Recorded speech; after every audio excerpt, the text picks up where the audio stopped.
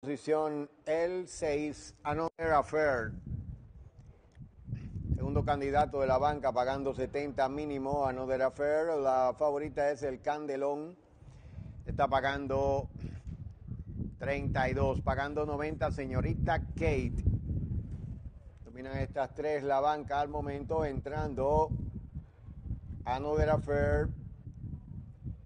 Falta que monte el guinete de Sky The Limits. Jonathan Saldaña. Montando ya Saldaña, Sky the Limits. En movimiento. Preparadas para la salida. 1100 metros la distancia, quinto evento.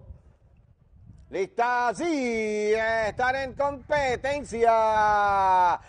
Las participantes, señorita Kate afuera tratando de tomar el control, adelanta por dentro ahora el ejemplar, el Candelón.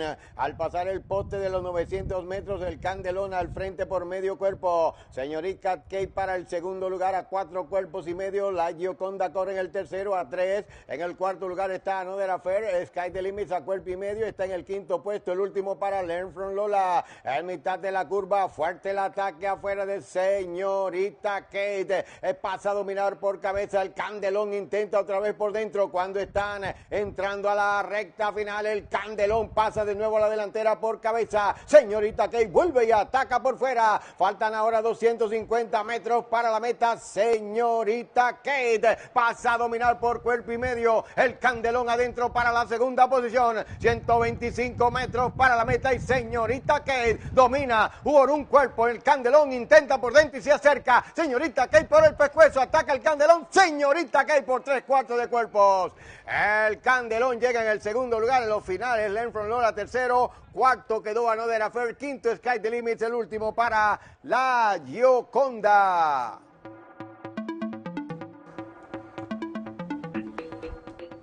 Emocionante por demás la quinta carrera en el quinto centenario con triunfo para el número 4, señorita Kate, que en tiempo de 1.6, 2 quintos se lleva la quinta a la distancia de 1100 metros y con la monta del jinete Jesús Frías.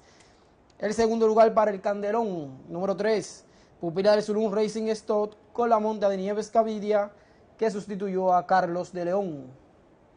Es así, la gran victoria aquí para el ejemplar número 4, señorita Kate, pupila del establo Travesía, entrenada por Geraldo Paulino y en la silla Jesús Frías.